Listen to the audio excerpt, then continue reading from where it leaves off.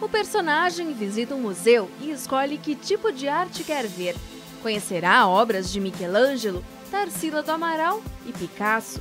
O passeio virtual faz parte de uma aula da educação à distância, modalidade de ensino que mais cresce no país atualmente. O Pablo já fez oito cursos EAD. O último foi na Universidade Franciscana, sobre economia brasileira, já que no fim do ano deve receber o diploma de economista. A facilidade. Por exemplo, eu é, posso chegar e fazer a hora que eu quiser, né? É, os horários sou eu que faço, então não tem problema contra isso. É basicamente mais, justamente é pela pela flexibilização, por exemplo, né, do teu estudo tu te programa, tu faz da maneira que tu puder fazer e assim, acho, acho que é, essa é a vantagem do curso. Né? O Pablo foi um dos mais de 400 alunos inscritos nos cursos de extensão oferecidos pela UFN no ano passado na modalidade Educação à Distância. Foram 15 opções ofertadas. Em 2019, a Universidade Franciscana inova, disponibilizando também cursos de graduação e especialização EAD.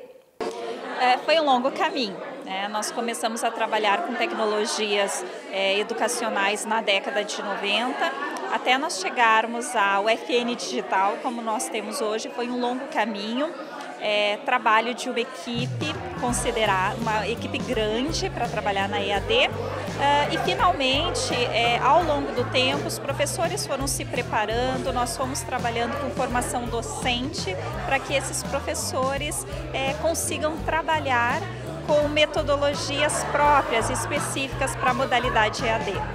25% dos professores da UFN já possuem formação para trabalhar com EAD. Quando a gente vê os conteúdos prontos, dinâmicos e interativos, nem imagina a dedicação e esforço que exigem professor precisa se reinventar, precisa repensar a sua prática, né?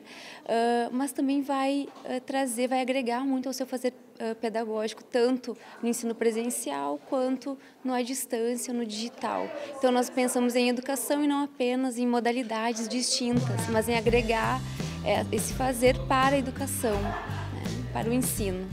E esse é o caminho que a UFN busca para a educação os nossos cursos, mesmo sendo cursos EAD, eles também têm momentos presenciais.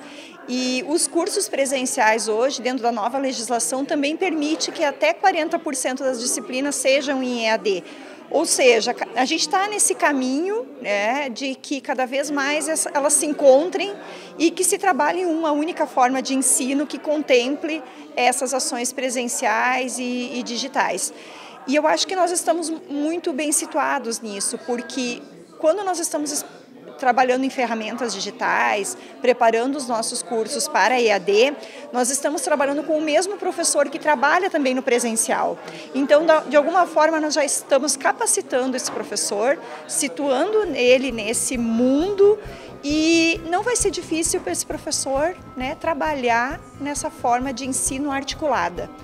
Os professores e técnicos administrativos responsáveis pela UFN Digital se reuniram para fazer um balanço de 2018 e ajustar os planos e metodologias para 2019. As inscrições para os cursos de graduação e especialização EAD estão abertas até fevereiro. Na graduação, são três opções: Pedagogia, Geografia e Gestão de Recursos Humanos.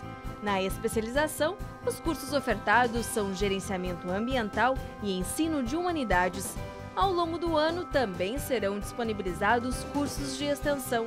O Pablo, que já tem experiência como aluno da EAD, dá uma dica. Tem que ter disciplina, tem que saber se organizar, tem que saber organizar os seus horários, saber o que tu vai estudar, dar uma lida um pouco antes. E outra, não se prender só a essa, só essa plataforma. Ela o curso EAD e os professores são mediadores de conhecimento. Eles vão te mostrar um, um, um, dado, um conhecimento, mas vai de ti ou não ir atrás de outros ou não. Entende? Isso vai te tornar um melhor profissional.